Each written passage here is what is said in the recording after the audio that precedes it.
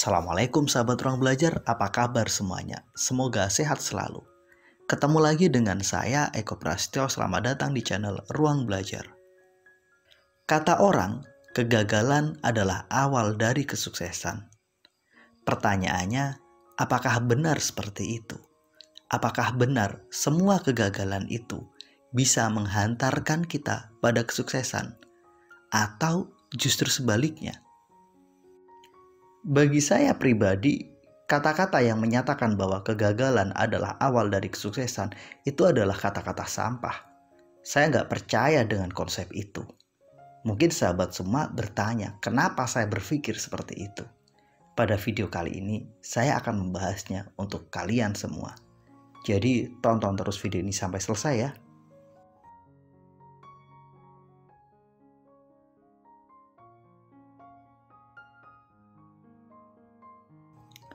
Semua orang itu pasti pernah gagal, siapa pun itu. Saya, Anda, dan banyak orang lainnya pasti pernah mengalami kegagalan. Jika kegagalan adalah awal dari kesuksesan, harusnya semua orang di seluruh dunia itu pasti sukses. Kenapa seperti itu? Karena semua orang pasti pernah gagal. Tapi realitanya nggak seperti itu. Ketika kita menyimak kisah hidup orang-orang sukses yang kini menjadi orang-orang terkaya di dunia, mulai dari Steve Jobs, Warren Buffett, kemudian Mark Zuckerberg, kemudian belum lagi Bill Gates, atau sederet nama lainnya, dalam banyak kesempatan mereka menceritakan bahwa mereka pernah mengalami kegagalan. Tapi realitanya hanya sedikit orang yang seperti mereka ada banyak cerita, ratusan ribu, bahkan jutaan kegagalan di luar sana yang tidak mampu mengubah hidup mereka menjadi sukses. Mereka tetap saja gagal, mereka tetap saja jadi pecundang. Alasan inilah yang membuat saya menganggap kata-kata bahwa kegagalan adalah awal kesuksesan itu adalah sampah. Toh realitanya, nggak semua orang yang gagal bisa jadi sukses lebih banyak orang yang gagal tetap menjadi gagal daripada orang yang gagal kemudian tumbuh menjadi sukses. Seringkali kita dimabukkan oleh cerita-cerita heroik orang-orang yang hari ini sukses, menceritakan perjuangan mereka, menceritakan perjalanan mereka bahwa mereka pernah mengalami kegagalan dan kehancuran. Tapi berapa banyak sih kisah-kisah heroik yang dilakukan oleh banyak orang yang ternyata mereka tetap saja gagal? Ada begitu banyak para perantau yang hidup di Jakarta, yang mereka berjuang setiap hari mengalami berbagai kegagalan dan kepahitan. Toh kenyataannya mungkin hanya satu persen dari mereka yang tumbuh menjadi sukses. Artinya, kesuksesan yang berawal dari kegagalan yang diraih oleh bahkan hanya satu persen orang ini, apakah bisa kita generalisir bahwa ini adalah kata-kata yang mutlak benarnya? Enggak, kata-kata ini tidak benar-benar benar. Kata-kata bahwa kegagalan adalah awal dari kesuksesan itu hanyalah sampah.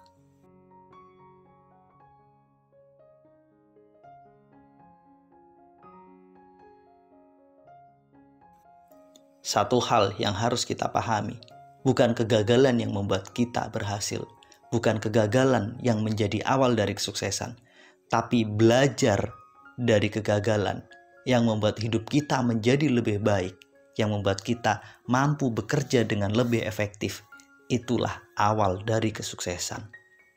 Ketika kita mengalami kegagalan, kita itu punya dua potensi. Pertama, mengambil pelajaran dari kegagalan itu. Yang kedua, kita biarkan begitu saja. Ketika kita mengalami kegagalan, kita juga punya dua pilihan. Pertama, bangkit lagi, atau kedua, kita hanyut dan terkubur. Maka kegagalan yang membuat kita menjadi sukses adalah kegagalan yang membuat kita belajar menjadi lebih baik dan kegagalan yang membuat kita memilih untuk mau bangkit lagi. Hanya kegagalan ini yang membuat kita mampu meraih kesuksesan. Sementara yang lainnya enggak. Kegagalan yang membuat kita hancur, kegagalan yang membuat kita nggak mau belajar, kegagalan yang membuat kita semakin terpuruk, ini adalah kegagalan yang akan mengubur kita banyak orang dalam mengalami kegagalan justru mereka memilih untuk tidak memperbaiki diri. Mereka memilih untuk meratapi kegagalannya. Kegagalan yang mereka alami tidak membuat mereka belajar, justru menyalahkan orang lain. Kegagalan yang mereka alami tidak membuat mereka lebih kuat, justru lebih rapuh. Kegagalan model inilah yang membuat kita akan selamanya menjadi pecundang. Jadi, sekali lagi, bukan kegagalan yang membuat kita menjadi sukses, bukan kegagalan yang merupakan awal dari kesuksesan, tapi belajar dari kegagalan yang membuat kita lebih baik, yang membuat kita lebih kuat. Itulah yang akan membuat kita menjadi sukses.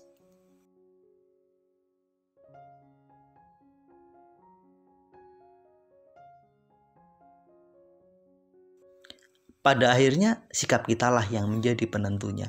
Apakah kita akan menyikapi kegagalan itu dengan positif atau sebaliknya? Jika kita memilih menyikapinya dengan baik, mengambil pelajaran, memilih untuk menjadi lebih baik, memilih untuk menjadi lebih kuat, memilih untuk bangkit lagi dan mencoba lagi, maka sikap inilah dan tindakan inilah yang akan membuat kita bangkit dari kegagalan dan meraih kesuksesan. Namun sebaliknya, jika sikap negatif yang kita pilih dalam menghadapi kegagalan, maka inilah yang akan mengubur kita, yang akan menjerembabkan kita dalam lubang kegagalan yang jauh lebih dalam. Mudah-mudahan video ini bermanfaat. Sampai ketemu pada video kami berikutnya. Terima kasih telah menonton. Assalamualaikum warahmatullahi wabarakatuh.